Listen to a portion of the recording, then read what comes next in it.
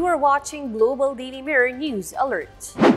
President Ferdinand Marcos Jr. visited the Philippine Space Agency where he also chairs the Philippine Space Council meeting. During the meeting, PBBM emphasized the importance of each agency having access to satellite mapping.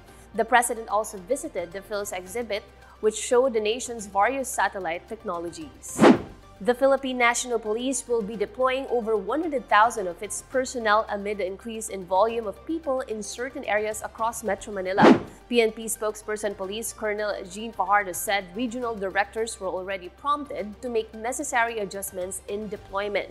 PNP Chief Police General Rodolfo Azurin Jr. earlier said around 192,000 PNP personnel would be deployed to ensure the safety of areas where people will flock this Christmas and New Year's.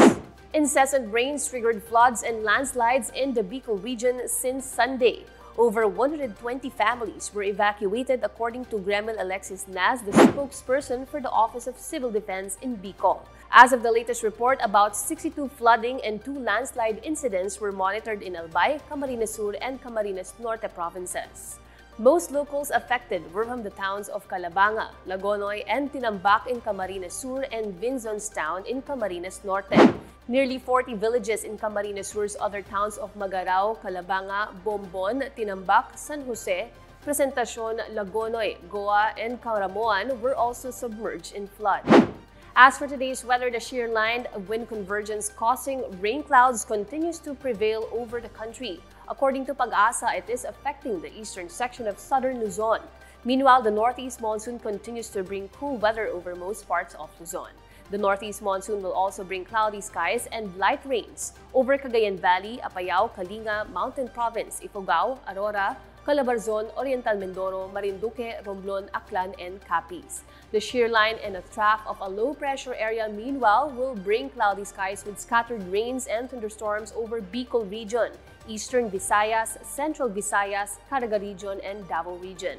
As for Metro Manila and the rest of Luzon and the rest of Western Visayas will also experience cooler weather due to the northeast monsoon as well as partly cloudy to cloudy skies with night rains. The rest of Mindanao will have fair weather with possible localized thunderstorms due to the trough of the low pressure area.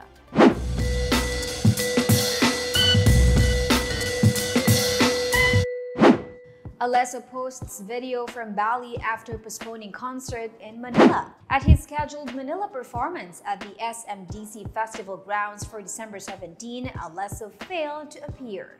Alesso was supposed to perform at midnight, but later, around the time he was scheduled to perform in Manila, Alesso shared an Instagram video showing himself performing a DJ performance on Saturday in Bali.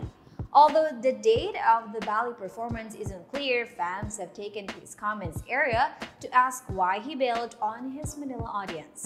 Alesso claimed in an Instagram story that he had no control over the situation. Meanwhile, Amber Heard agrees to pay Johnny Depp $1 million in defamation case.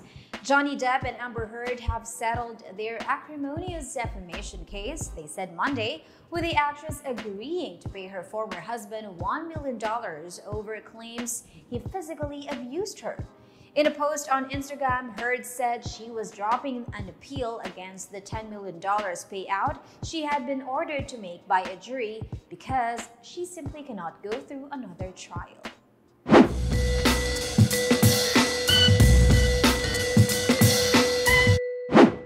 That's the latest for this hour. Subscribe to our YouTube, Facebook, and Instagram and visit www.globaldailymirror.com.